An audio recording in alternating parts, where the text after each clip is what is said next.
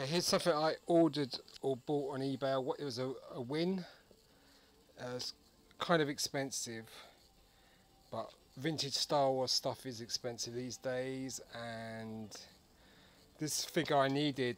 That this figure means that I've got the first 12 vintage Star Wars figures graded and um, on AFA or UKG car uh, grading on card backs. So this is the last one I needed to have a graded example of on card.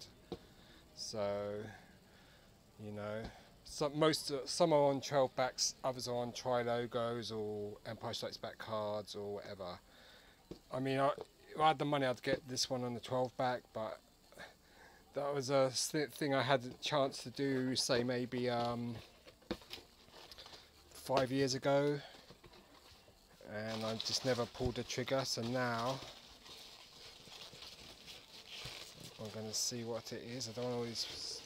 Oh, it's falling out. So you can see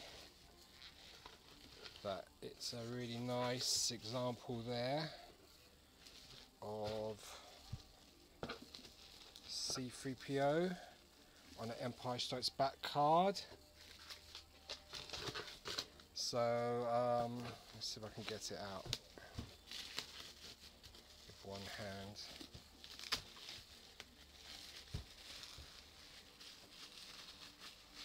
Nicely packed.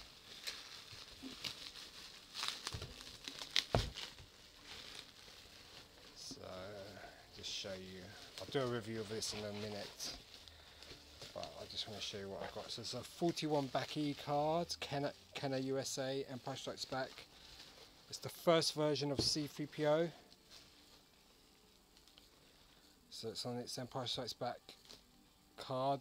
After this they swapped switched to the limbs version of C3PO, the one with the breakaway limbs. But this is the Empire Strikes Back original photograph C3PO on a Kenner 41 back. AFA graded. Card gets 80, bubble 85, figure 85. It's a 21, 41 back E. And yeah, so I won this I think Tuesday night. I didn't expect to win, so so it means I'm going to be on a tight budget for the rest of the month. But now I've got this, so it's got the first 12 in this sort of form, which is graded on a in a card back. You know, he was the last one I needed. Okay, so that's a really nice C3PO, and I'll show you. I'll do a review of this next.